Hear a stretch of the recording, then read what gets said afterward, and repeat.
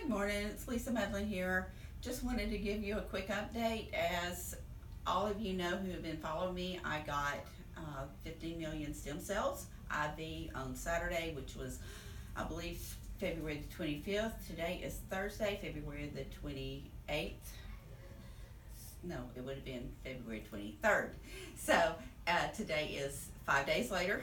Um, and I just wanted to give you a quick update on how I'm doing. Ever since then, I have been uh, feeling a whole lot better. My energy level has skyrocketed through the roof. My family has looked at me and said, "Hey, Lisa, what kind of what's up? Because you've got more energy." Um, my husband just two nights ago said, "Hey, I noticed you weren't sitting in the recliner. You were buzzing around the house doing things when you got home." And um, another really big plus is that um, when I would sleep, um, I would not really be rested when I got up. I would still feel, feel fatigued, my muscles would be tight. And I would just kind of drag through the day and then get home at night and sit in my, my recliner and hope nobody asked me to do anything.